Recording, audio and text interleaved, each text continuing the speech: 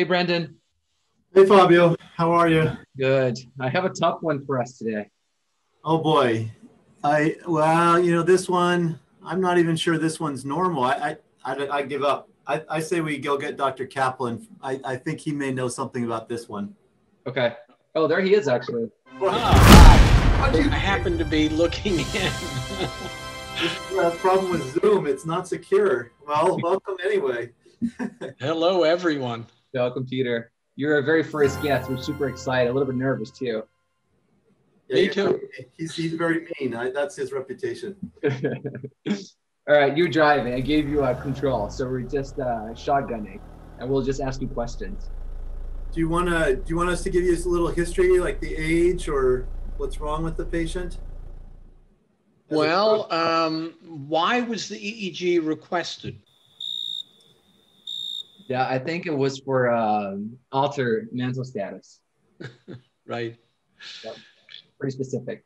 Well, uh, I can see a very interesting clinical feature here, which is the one. And can you see my arrow? Yeah. yes. Yeah. All right. So there is a certain morphology here. Mhm. It's a paroxysm of a sudden burst lasting about 300 milliseconds. Okay. It seems to have, in many of these derivations, either three phases or two phases. Let me go to the topmost derivation where there's an initial uh, small rounded upgoing first phase, and then there's a, uh, a reasonably steep descending second phase. Uh, and the third phase go, ascends and then goes slowly back to the baseline. And if you were to calculate the duration of this phenomenon on this waveform, you'd see it ended about there and it started about there. So it's a minimum of about half a second, in which case, if this went in couplets or triplets, it would be probably no faster than two hertz. The maximum of this wave, really, uh, often, if you look at it in other uh, pages, and we'll see that presently, is in the frontocentral region, not the frontopolar region. Mm. And at the same time, when this occurs, it occurs simultaneously and synchronously bilaterally. But there seems to be a certain lag in each of these waveforms in the sense that right here it occurred a little bit earlier, the third derivation, than in the second derivation, which is about the same as in the first. So there appear, appears here to be a postero anterior lag. Mm. Even in the same waveform, you might see an antero posterior lag. Here you might see it as well again. Here's a good example where you see in the frontocentral a much better formed waveform than in the frontopolar. So these bilateral synchronous morphologies uh, were originally described by Bickford and Butt in 1955 uh, and by uh, another investigator also in the 50s, and they termed them wa- triphasic waves because they had three phases. Mm. Now, the question was were these an epileptic phenomenon? And back then, the concept of epileptic was that it pertained to being in a seizure, predisposing to a seizure, or representing part of a seizure. Mhm. But in fact, the patients that they looked at, I think there were about 12 patients, all had what we would call now delta or altered mental status, or what they called an encephalopathy. Hmm. And they went back and found that the patients who were referred who had this EEG pattern had hepatic insufficiency. And later on, they were able to measure the ammonia levels and make hmm. some correlation between ammonia and this morphology, typically that of a raised ammonia. But then as time went on, they found that there were patients with these morphologies who lacked a high ammonia. Mhm. And, but, and they began collecting all sorts of other uh, systemic problems that went along with it. So that now there are probably well over 30 to 50 to 60 associations, because it's very difficult to say causation when you do a single uh, case. You can do perhaps causation in a single patient if you do a challenge re-challenge test hmm. with perceived offending agent, bringing us to the concept that these may be generated by patients with toxicity.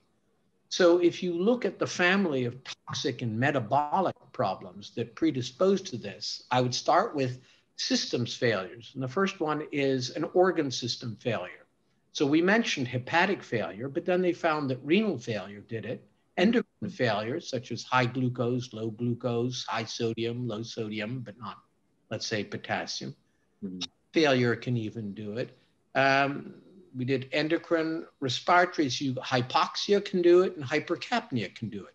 And then family toxicities, increasingly, there are ones that resemble this superficially in the sense that they have two or three phases and that they are uh, bilateral and synchronous, but usually they are briefer and spikier, sometimes asymmetric and sometimes asynchronous. And that would be from toxicity from baclofen or lithium or ifosfamide. And now what we're seeing is with the increasing use of toxic agents in patients with mild renal insufficiency, you can have a spillover effect of things such as uh, Lyrica or gabapentin producing these sorts of waves in patients with borderline or frankly abnormal renal dysfunction. Mm. Uh, but it's worth knowing that, in fact, you don't have to have frank by the book renal dysfunction. You can have borderline, particularly in the elderly and particularly in women. And the most common offending agent that I encounter now is cefepime. So that would be a typical toxic cause of this phenomenon. Now, more recently, the American Clinical Neurophysiology Society promulgated a classification system led by Larry Hirsch that you can find in a reference, in which each of the elements of an EEG, meaning the background activity, how it presents, how it evolves, whether it's bilateral, unilateral, focal, um, into different monikers. And one of them is periodic discharges, meaning an episode, or rather an episodic appearance of a morphology deemed to be a discharge because originally it was allied with the concept that it might be epileptic or epileptiform. And I still use those terms, more epileptiform, even though they have formally fallen out of research classifications by Larry Hirsch's ACNS. Mm-hmm. This became part of the generalized periodic discharge family. Mm-hmm. Generalized periodic discharge family is really just a way of describing when, where, how, and uh, and possibly then how it evolves. Peter, so I think you mentioned that it could either be biphasic or triphasic, but we're still call them triphasic. Is that is that really it? Could it just yeah. be phases and still be triphasic? That's that's Larry. Yeah, it's a bit, isn't it? It's paradoxical. You see, because the first ones they described, they were dealing with four-channel machines or two-channel machines. Mm-hmm. Then they were using unipolar or referential. Mm-hmm. Okay, in fact, to look at what they used to call triphasic waves, you're supposed to look at it with a referential montage. I actually use bipolar for virtually everything. Mm. All right. Now, here you'll see uh, that we're able to see because with the bipolar, as you know, one subtracts from the next. So it's a much better localizer of activity as hmm. long as they don't have shared electrical uh, content. Mm. So you have a larger, a bigger potential, it means that the fall off between the two electrode inputs is greater, and that's what gives it a higher voltage. Mm. There's a greater uh, fall off of voltage near the central head regions than in the frontal head regions. And you can see that also on the unipolar. If anyone finds triphasic waves in, in any age between 15 and 25, let me know. Write it up, send it to the journal. We, you know, because the question is, why would someone who's 18 not have triphasic waves? Why? Why? Why? What facilitates the appearance of triphasic like morphologies is white matter disease. So you can have a lot of white matter disease um, and have very little in the way of toxic metabolic insult and see them. Hmm. All right. So, um, you know, there are, you can have a bit of uremia, a bit of cefepime, and out they come mm-hmm.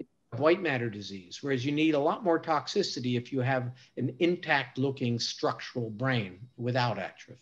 So you, you, what was the challenge? It was to find one in someone under the age of 22. 20. Okay, under the age of 22. All right, I will. The gauntlet is thrown down. I'm going to try to find one. But uh, is it is it cheating if we look for someone who has a you know a severe no, you must. You okay. you should. I asked the King's College NASHA Ah. Right, and she's with. It was a lecture we were giving there, and they had all the pediatric people, and they have a huge EEG. She said, "Sure, I'll ask them all." Mm-hmm. Um, I never heard back, so I then emailed them again, and they said, "You know, it's funny." And I asked the president of the British Society. They hadn't seen. I asked my French colleagues. They don't have them. Wow. And I asked the Hopkins people downtown. So no one has found me a triphasic wave under the age of 20. Okay. It is a challenge. Peter is taking uh, whoever finds it uh, for dinner. If you want me to spout on anything else in the future, I'm game. Yeah. Oh yeah, absolutely. yeah, be ready. We're get, we're having you back. All right. Sounds great.